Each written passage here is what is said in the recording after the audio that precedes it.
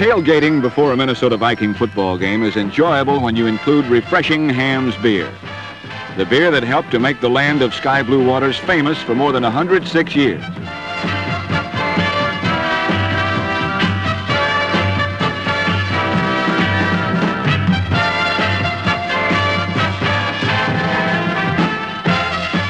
Now, Hamm's brings you the 1971 edition of the Minnesota Viking Highlights. 65 toss power trap. Look for 65 toss power trap. What does it look like? Hey, look for 65 toss power trap. Let's see what it looks like. Gloucester, tell him 65 toss power trap. Get in there for 65 toss power trap. Let's block. Let's Come on, go. Vinny, let's get seven the ball in. points. Come on, let's go. 65 toss power trap. It might pop wide open, Rats.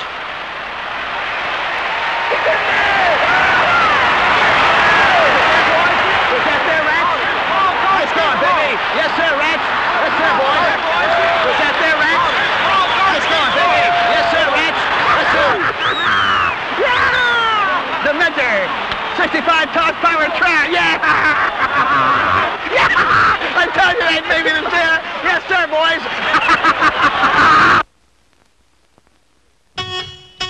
Quarterback Gary Cuozzo had been at the Super Bowl, and he remembered.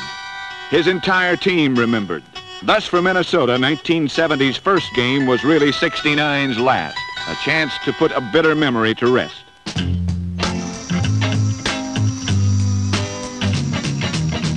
The memory died quickly. It fell under a relentless assault on the past.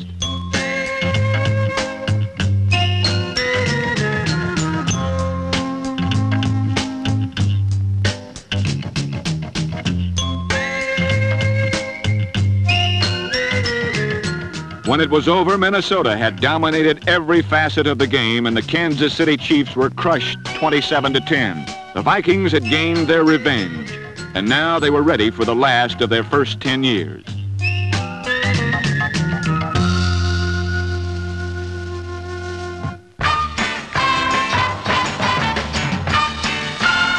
The defense set up win number two by blocking two New Orleans punts and holding the Saints' ground game to a stingy 50 yards. Fred Cox kicked four field goals, and number 55, Mike McGill's jog, with this futile punt attempt, gave the Vikings a 26-0 margin. Game number three was against the Green Bay Packers. The Viking defense was again tough to crack, limiting Packer runners to 57 yards.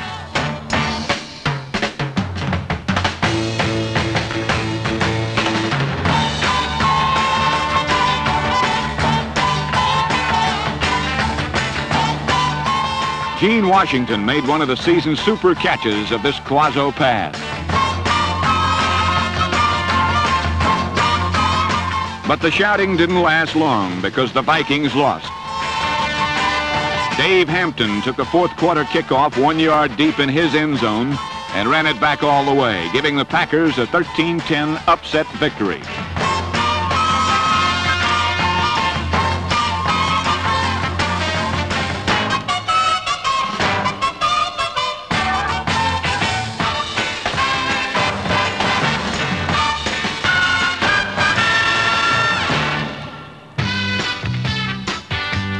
Before the Vikings left for Chicago, Coach Bud Grant said, We are now in a very challenging segment of our schedule. The challenge was met head on. Clint Jones gained some of the toughest yards in football against the fierce, free-swinging Bear defense.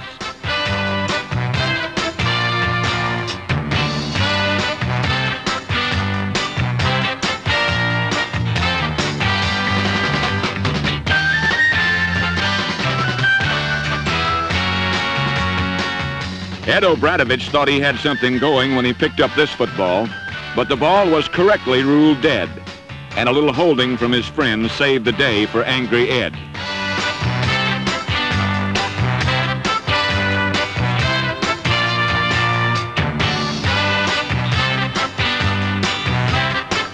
Alan Page picked up a midair fumble and went 65 yards with it.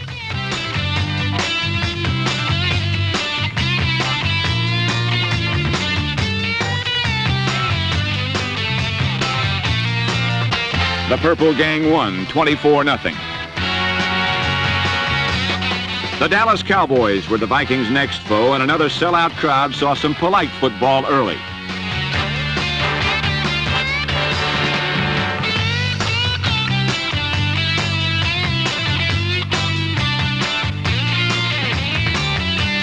But the Vikings returned to form when number 45, Ed Sharockman, got hot and turned the game into a rout.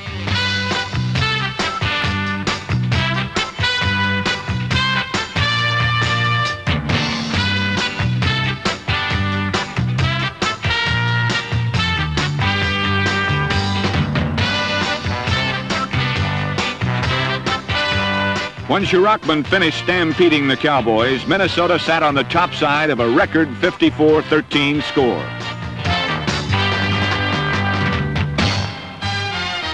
The following week brought the Rams to town for a Monday night game, and in bad weather, the Rams came out hitting.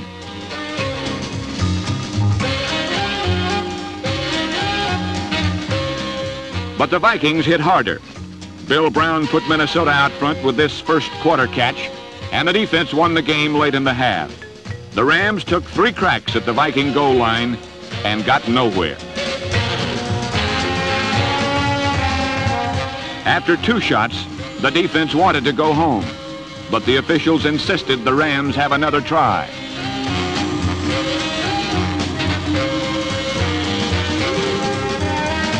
They failed and Minnesota went on to win 13 to 3.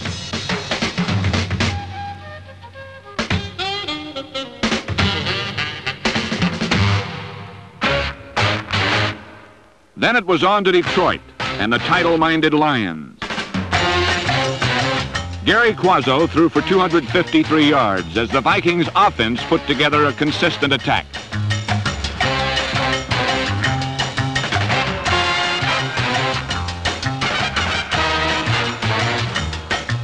The Lions fought with more than hope, though, and held a 14-10 second quarter lead. But the defense settled down and Bobby Bryant took an interception in for a touchdown.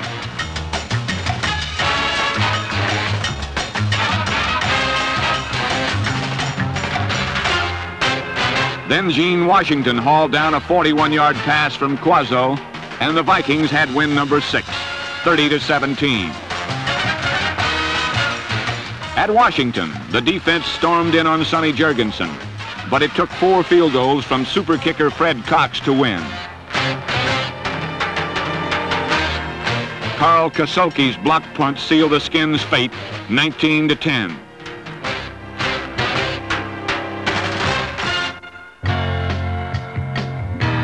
Next, another crucial game with the Lions. A loss would scramble the Vikings' title plans, and it looked as if the Lions would win.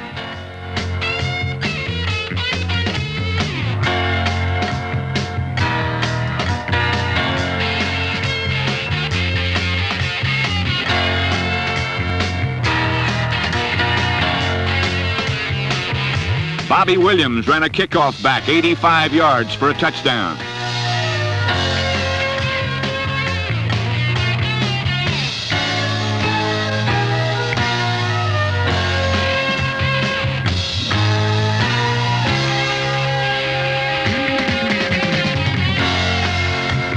Then the Lions forced a fumble by Gary Cuozzo, and Mel Farr quickly gave them a 20 to 10 fourth quarter lead. But Larry Walton hit a wall. And Karl Kassulke demolished Greg Landry. And things began to happen. First, Ed Sharockman blew through and blocked a punt.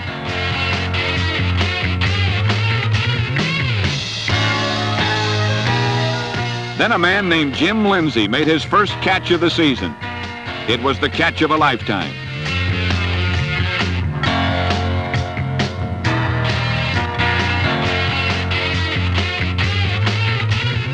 With time running out, Clint Jones rounded left end, and the Vikings had a great victory.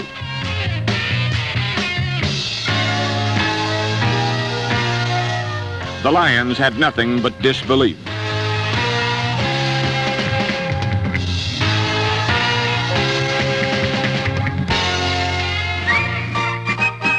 The Packer rematch followed in a sub-zero gale.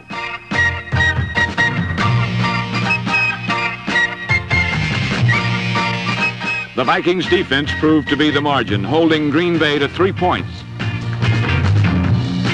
Gary Cuozzo hit Gene Washington with a 37-yard shot, and then Clint Jones won the game with sheer second effort.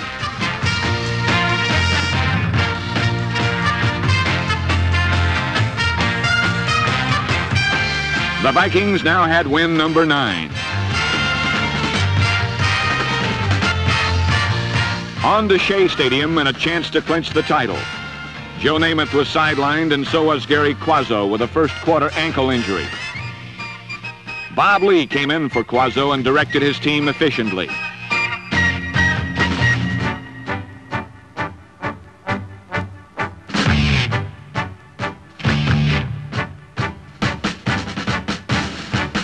But the Jets were hot, and the title would have to wait. New York won 20 to 10.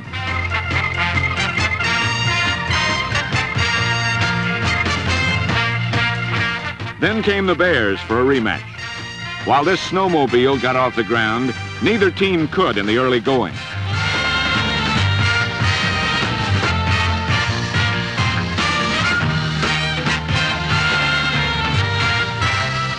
But Bob Lee soon bounced back and floated a pass to John Henderson that brought a third straight Central Division title to Minnesota.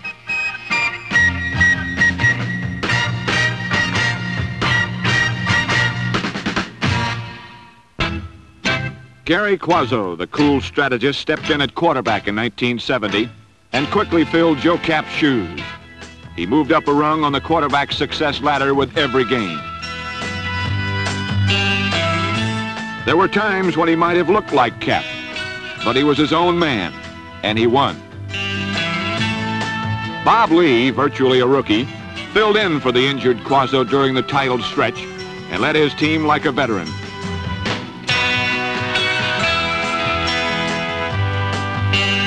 A major part of the quarterback's success belongs to the offensive line. Number 53, center Mick Tingelhoff.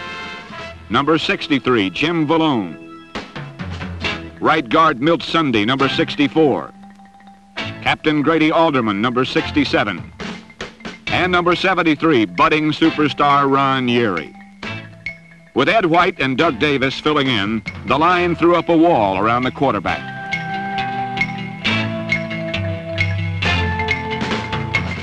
While Cuozzo and his line gave direction to the offense, the receivers threw in the spice. Number 27, Bob Grim, stopped at nothing to make a catch.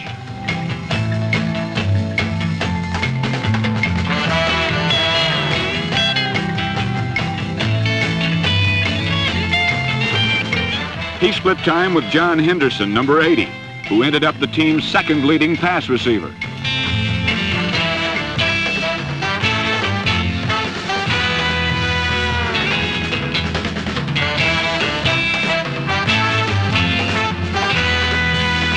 The Vikings tight end is number 87, John Beasley.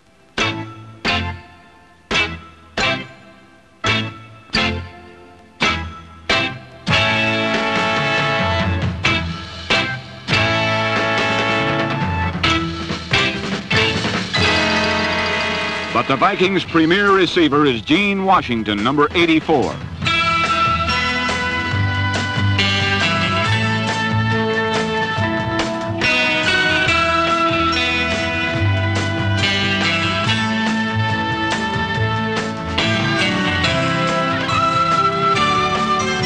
Viking receivers added the spice, and the Viking runners added the character.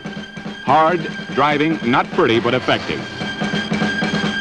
Number 41, Dave Osborne, sometimes cradles the ball like a boy with a new puppy, but he has the savvy of a pool hustler. Don't let him fool you. He's not the fanciest and not the fastest. All he'll do is beat you.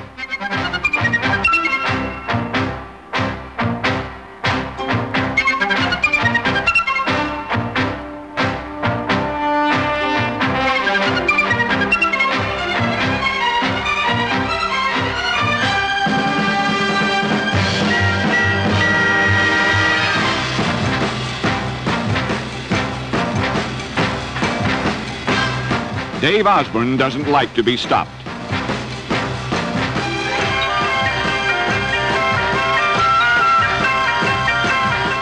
Number 26, Clint Jones, spun and slashed his way to his best year as a pro.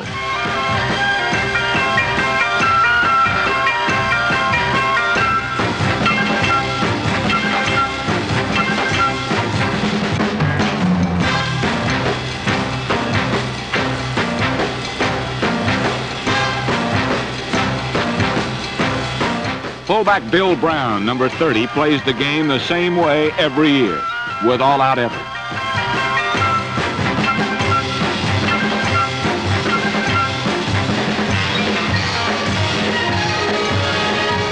Not pretty, but effective. Number 32, Oscar Reed, is a young runner with a bright future, but he was slowed by injuries in 1970.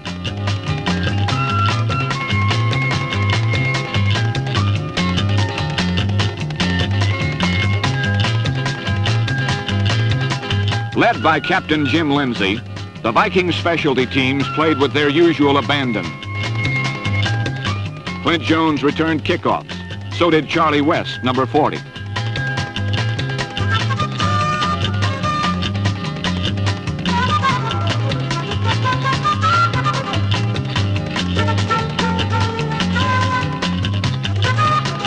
Fred Cox was cut by the Vikings in 1962. It's a good thing he came back for another try. He was the Vikings' most valuable player in 1970, setting records almost every time he kicked.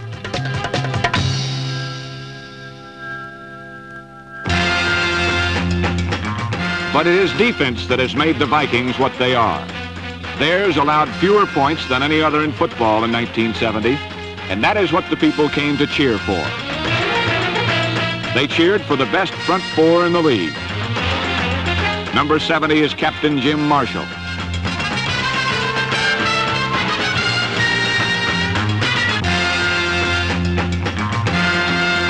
Number 88, Alan Page, was voted the top defensive player in the NFC in 1970. Page is not on his way to greatness. He is already there. His backup, Paul Dickson, may be the finest fifth man in the game.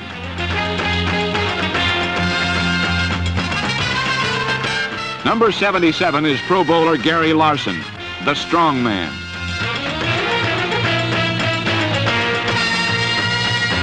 All-Pro Carl Eller, number 81, is one of the best defensive ends in football.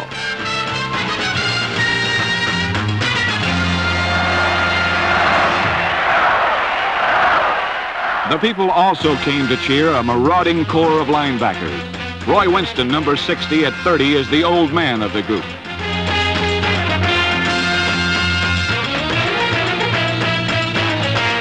Middleman Lonnie Warwick, number 59, makes old men out of young runners, fast. So does number 58, Wally Hilgenberg. Number 49 is Dale Hackbart. The fans cheered a pass defense that made 28 interceptions and allowed just six touchdowns. By far the best in the NFL. Number 45 is Ed Sharockman. He led the team with seven interceptions. He was aided by Karl Kassulke, number 29, and by Bobby Bryant, number 20, and by Charlie West, number 40. Paul Krause, number 22, rounded out the backfield with six interceptions. This defense did two things better than anyone else, win and hit.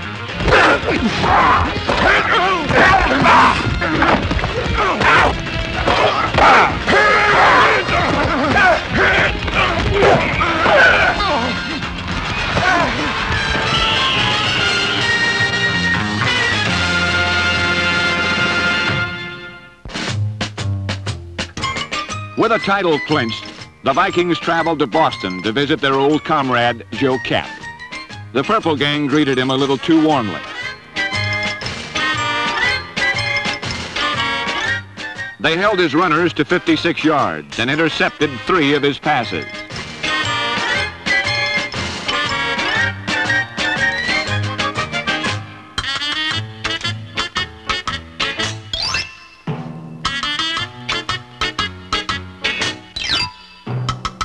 On this play, Ed Sharockman gave the ball to Wally Hilgenberg, who took off on the icy field for a meeting with Joe Kapp.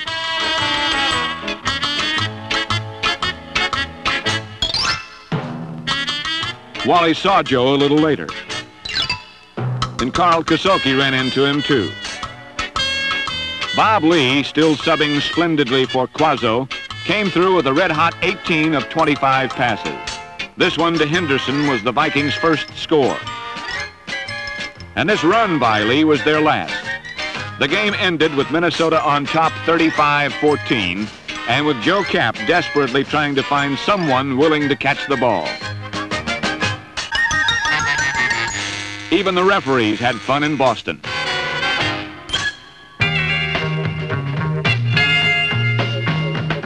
Atlanta marked the end of the regular season. And although the Falcons pushed across the first touchdown with this punt return, the game was never in doubt.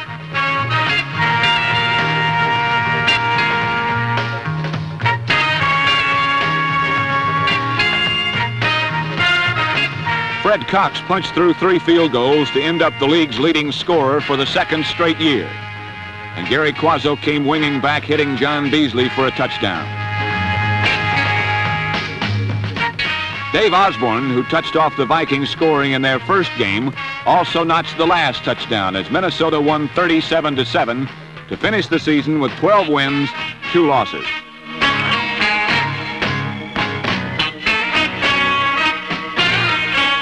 Next, the playoffs and the San Francisco 49ers.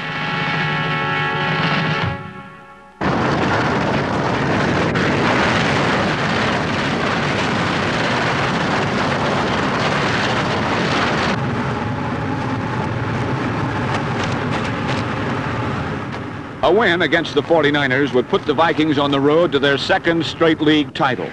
And that was what the football world expected. Okay, Minnesota wins the toss. We receive here.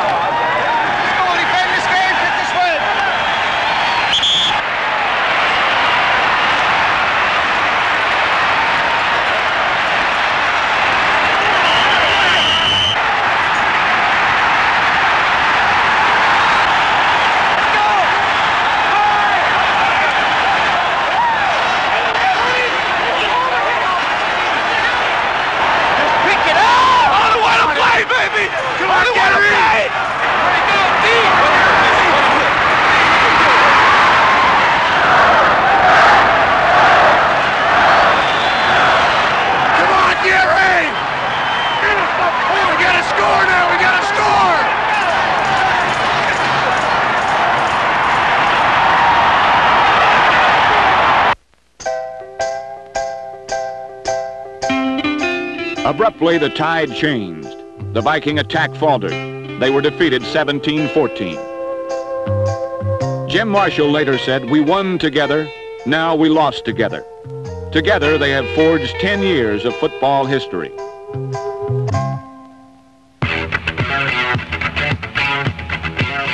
It began 10 years ago with a scrambling quarterback named Tarkenton running like a madman, trying to win. And fiery Norm Van Brocklin coaching to win.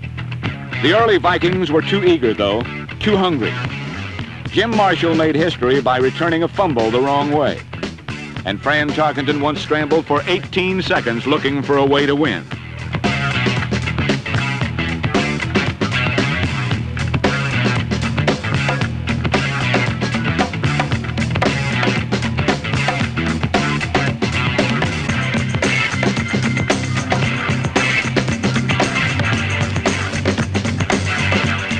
Always they were hitters. They could wear any uniform, any number, play in any stadium, any time, and you still knew they were the Vikings. They attacked people without thought for the odds. That's their unique character. But they didn't always win. Then the 1967 season and a new coach, Bud Grant. Joe Kapp came along soon after, and the two instilled a winner's pride into a team that was weary of losing. Kapp took them to titles in 68 and 69. Now the team had added a new dimension. They were winners.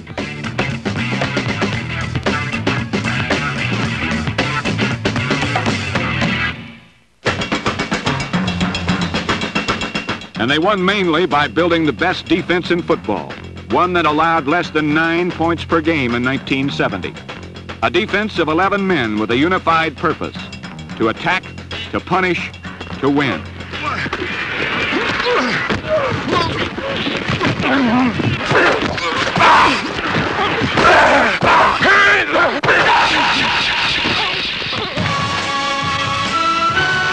Over the past two seasons, the Vikings' record is the best in professional football. But they won't look back. What counts is now. And they look to their second 10 years with one thought in mind, to win.